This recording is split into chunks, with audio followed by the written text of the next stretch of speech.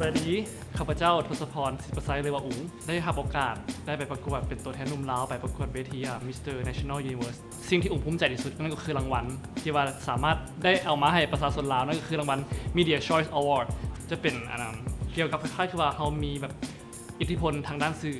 ได้รับความนิยมชมชอบจากจากทางด้านสื่อออนไลน์ไม่ว่าจะเป็น Facebook บอ Google บออย่างต่างๆที่นะสำหรับประสบการณ์ในการประกวดครั้งนี้นะรู้สึกว่า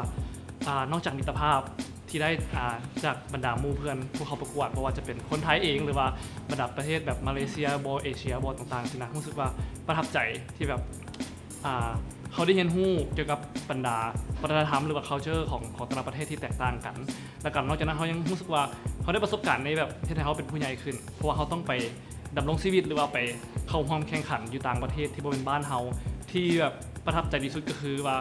เขาได้เป็นตัวแทนของคนลาว เขาต้องเฮ็ดให้เต็มที่เพราะว่าจะเป็นขนบธรรมเนียมการนกใบหรือว่าภาษาปากเว้าเขาต้องแบบแสดงศักยภาพให้เขาเห็นว่าคนลาวก็เป็น